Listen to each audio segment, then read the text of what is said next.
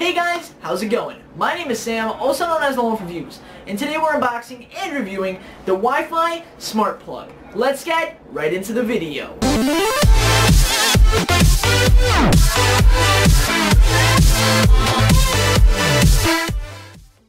Now this product was sent to me by a company by the name of IT Parts. Check them out, links in the description. Anyways, let's get into the video. Okay guys, so this is the Wi-Fi smart socket. So around the box, there's not much to be seen. Of course, on the front it tells you that you can control it through a phone. It's a timing switch. It's lightning proof. It has all the specifications on the side here. Those aren't really important in my opinion.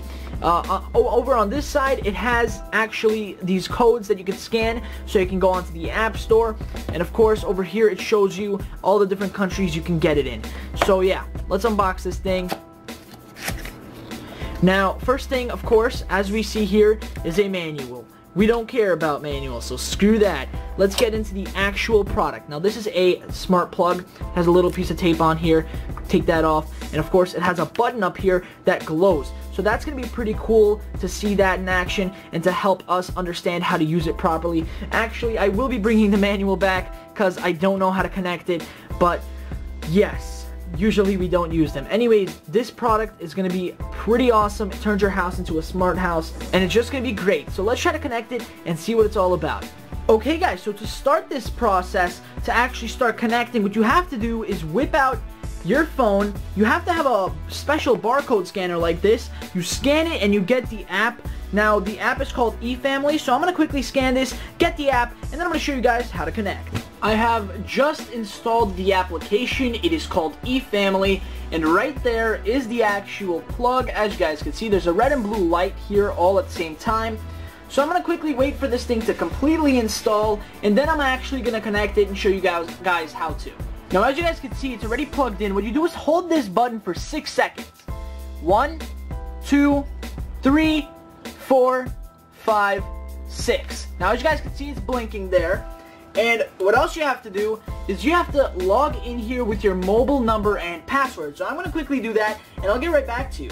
As you guys can see, I am currently in the application. Apparently you're supposed to press the plus button and quick config right there. Now I have my Wi-Fi. All I have to do is put my password in there. So I'm going to quickly put my password in there.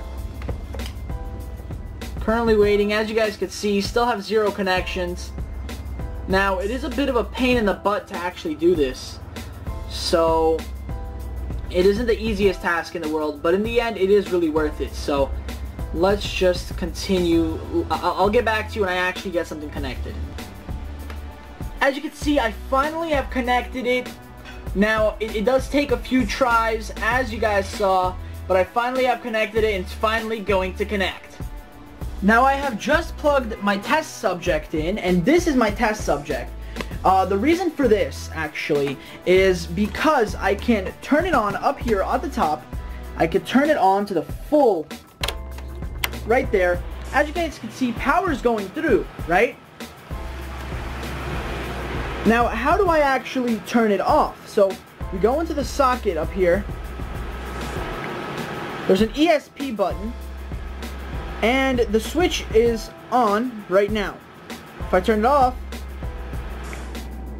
it's off. On. It's on. It's off. As you guys can see, it is working right there. I could go into a different room, but I have already tested this, so if you guys want, you can take my word for it. This works anywhere. I tried this outside already, um, but I before I filmed this video to make sure this works. So, on.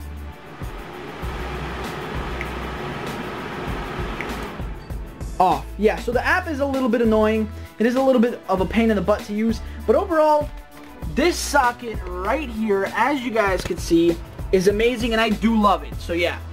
Anyways guys, I hope you have enjoyed this video. I hope you guys have gotten some use and might consider purchasing the Wi-Fi socket because this thing is pretty cool. Anyways, thank you for watching. Like, comment, and subscribe. And as always, I'll see you guys in the next video. Peace out. Yeah.